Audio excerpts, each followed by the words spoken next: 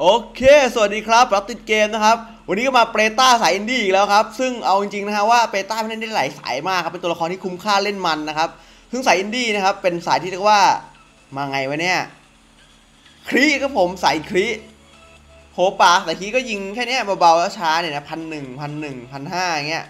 เบาๆนี่หว่าไม่เห็นมีอะไรน่าสนใจเลยป่าดูเดเนี่ยยิงอาคีโอ้ย แค่นี้นี่ใครๆก็ทำได้ carry เล่น carry เลยดีกว่าไหมอย่างนี้เนี่ยเล่นทำไมเนี่ย เดี๋ยวก่อนเดี๋ยวก่อน อันนี้เนี่ยดูให้ดีนะฮะ เราออกไปในนี่ Apocalypse Zweihander อันนี้คือเน้นพลังเวท กับการโจมตีเวทหลังจากที่ใช้สกิลนะฮะอะผมลองใช้สกิลก่อนหาเหยื่อก่อนหาเหยื่อหาเหยื่อปุ้ง ตายกันรัวๆเลยวะง่ายไปเอาเป็นมังกรมังกร เดี๋ยวจะโชว์ทีเด็ดตอนที่กดอันติเดี๋ยวก่อน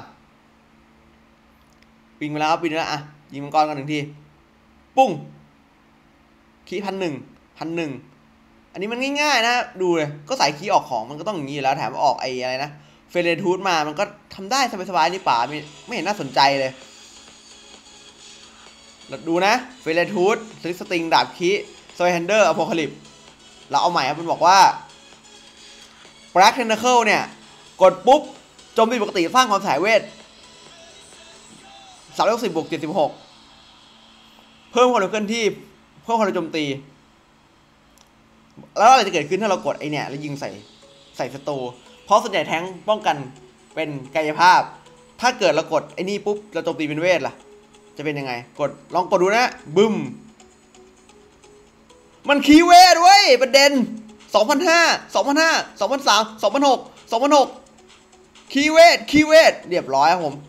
แล้วคิดดูเด็ดถ้าเป็นแท้งอะที่แบบ ป้องกันกายภาพไปกายภาพไปเยอะอะเจอนี่ยิงคีที2006 2006ไปแล้วเป็นเวทอะไส้ไม่ไหลเหรอนี่มันถือภาษาอินดี้นะฮะ คือหลักๆ เดี๋ยวลองพูดปกติก็ได้อะข้อเสียคือสกิลจะเบาครับ เพราะว่านี้พลังเวทน้อย ยิงหนึ่งทีบึ้มหนึ่งที ยิงทีกดปาร์กยิง เวฟระเบิด ยิงยิงยิงยิงยิงยิงยิงยิงยิงยิง นี่ฮะสองพันหกสองพันสามเป็นแนวทางการเล่นสายนะครับสำหรับใครที่แบบว่าเบื่อสายเวทเมทที่ยิงธรรมดาละอันนี้เป็น mage สายอินดี้ครับ wave กันมันๆนะครับแล้วยิงครับสำคัญคือถ้าเกิดอยากยิงเป็นเวทเนี่ยต้องมี ulti ครับหาเหยื่อก่อน อันเหยื่อหมดแล้วครับขอแค่มี ulti ปุ๊บกดหนึ่งทีมังกรก็ได้ฮะกด ulti วิ่งเร็ว วิ่งเร็วยิงเร็วนี่คือโหดมาก ระเบิดบุ้ม stun นี่ด้วย wave wave แล้วเดินต่อ